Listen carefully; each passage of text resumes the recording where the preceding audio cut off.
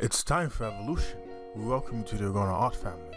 In today's video, I'm going to give you guys five tips on improving your drawings, five personal tips. And so, for the first tip, it will the first personal tip is to make a comic. And now, why would you make a comic? So when you're making a comic, for every single page, you're you're giving yourself an opportunity to draw a character or a scene from multiple different angles and you're constantly drawing the same character. And this method is training yourself to draw consistently. And at, and at the same time, since it'll be your own comic, you'll be motivated to continue to draw.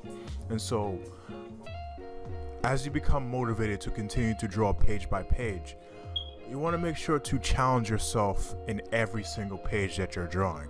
So, by challenging yourself, I mean drawing a particular angle or drawing a particular uh, a particular background. You know, just challenge yourself every single page. Find some way you can challenge yourself for every single page while you're drawing the comic. And I guarantee you, after you've done uh, 30 to, to 40 uh, different pages, and you're and you've challenged yourself in that comic, you'll see a uh, a great improvement coming from you.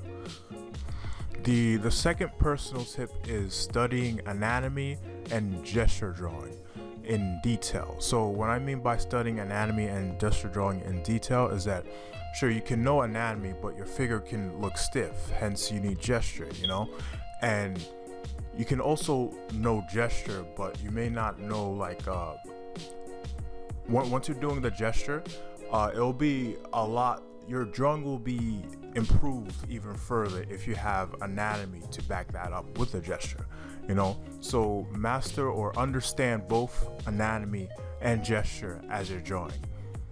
The anatomy is the the technical knowledge of the human body and the gesture is more so the emotional knowledge of the of the uh, of the human body you know and gesture drawing is also key to helping a uh, a, a, drawer or an artist uh, build speed whenever they're drawing so whenever you're doing gesture drawing you want to look into the axis, the axis of the human body, how it's tilting.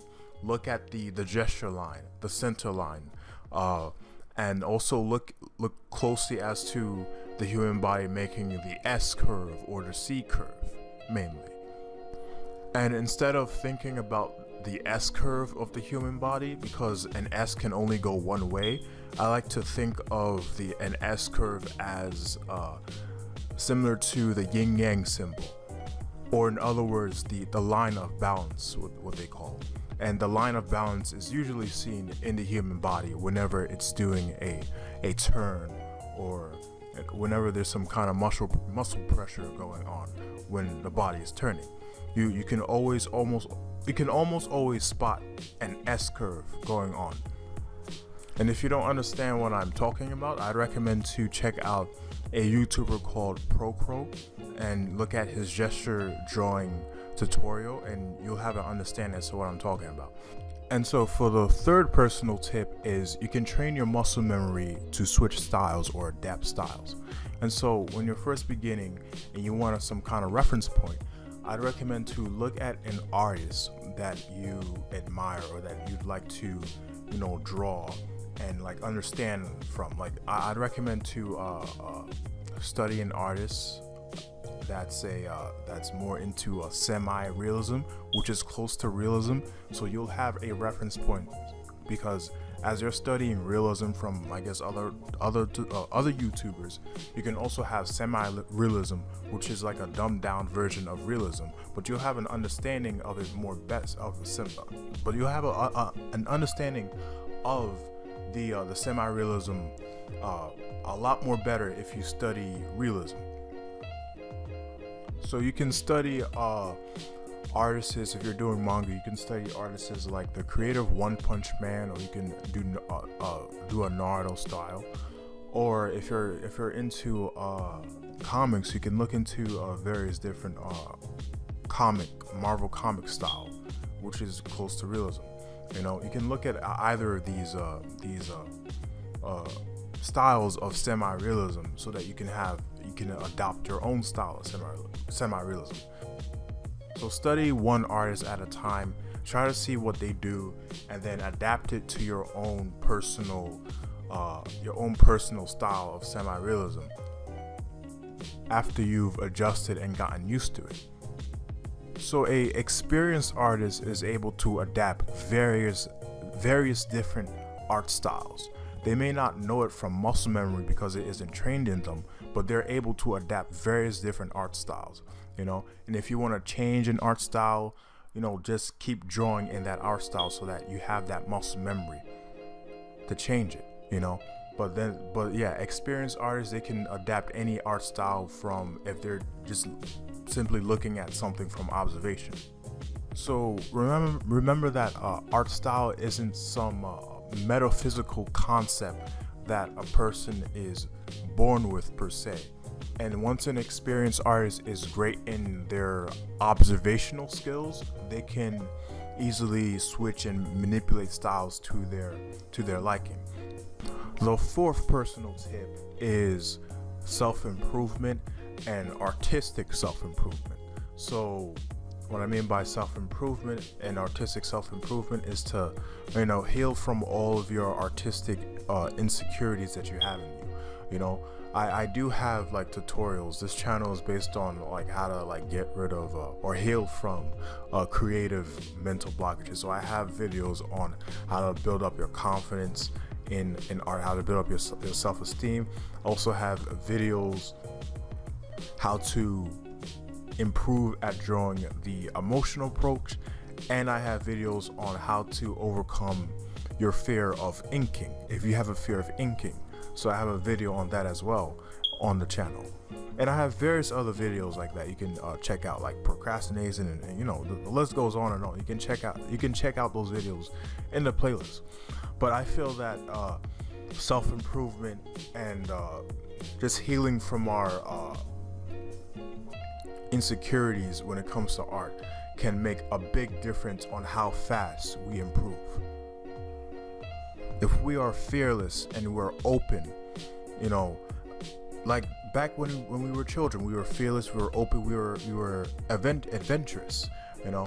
If we if we can get back to that state of you know accepting our mistakes that which make us better because a master has made a lot of mistakes, you know, if we can just you know come to accept accept this and like just get into the flow of drawing you know without any any blockages without any uh, self-hate going on we can improve at a, a very fast rate.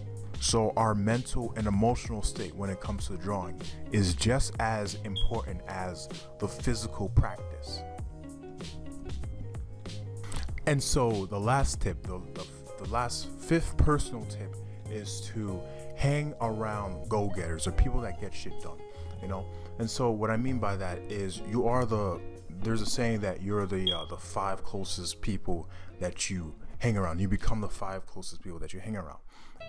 So hang around the doers. Hang around the people that are actually doing the work and you see the improvement happening within them. You know hang around the people that that do the studies. They don't complain but they're constantly learning you know? And so oftentimes uh, there's when when we are faced with uh, people with, with, people who who admit that kind of vibe that, that kind of vibe. Uh, it can either go two ways. We, uh, the artist can either push that that person away or they can learn from that person. So the pushing the person away can be due to a personal insecurity that they may have. And hence they may attract other artists that aren't on that wavelength of improvement. And when they attract other artists that that aren't on that wavelength wavelength of improvement, it becomes a lot more difficult because there may be some negativity when it comes to art. There may be some uh, a, a lot of different things that may come and you know implant in their mind, like so and so is hard, drawing backgrounds is hard, or drawing hands is, is difficult. Just draw, just improve. Don't think about how difficult or how easy something is. Just just do it. You know, just so for any video gamers out there, if you're familiar with uh, the, the concept of the final boss, so we know that the final boss is hard. We may get our ass kicked on the first round, however, we know that it's hard. And so on the second round, we are in the zone. We're not focused on rather something is hard or easy. We're just so in the zone. You know, we're, we're focused, we're determined, we're, we're having fun with it too. You know, we're just so in the zone that the concept of, of hard and easy is just irrelevant. We're just getting shit done. You know, we're, we're just focused. Mistakes will be made, but we just get back up and we do it. We're just so in the zone. And so when we when we aren't in the zone of facing the final boss, is when like when our mind is constantly saying to ourselves, This is hard, this is hard, this is hard. You know, if, if we're in that state of this is hard, this is hard, we, we aren't present with what we're what we're facing at the moment and we have to be present and in the flow of what is going on so so be around people who who seek to improve. And one quote i, I do want to leave is that drawing is is very simplistic. However it gives the illusion of complexity. And the illusion of complexity is what a lot of people fall for. So connect with other artists that are constantly improving and that may inspire you to, you know, improve as well, to, you know, step your game up, you know? And it doesn't have to be a competition with the other person. The only person you should be competing with is who you were yesterday. How how much more are you evolving from who you were yesterday? You know, so you want to constantly just keep on improving and evolving. Don't worry about, you know, not getting there so fast as the other person. Just make sure that you you are improving, you know? If you have any other questions, feel free to leave so in the comments down below. Also check out the Patreon and also my Discord. And that will be the video. Peace out. Also subscribe.